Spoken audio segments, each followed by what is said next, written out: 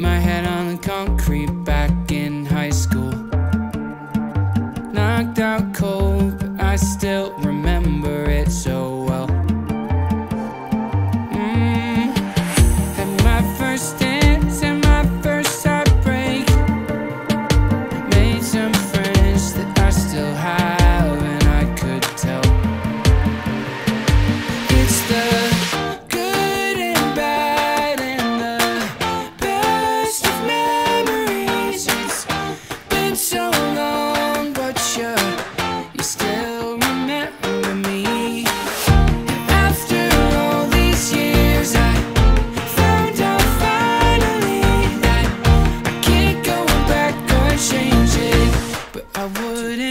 freedom